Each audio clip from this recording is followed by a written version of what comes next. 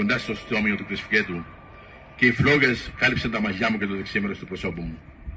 Από έστικτο κάλυψα το πρόσωπό μου με τα χέρια μου, αλλά αισθάνθηκα να γέγονται και αυτά.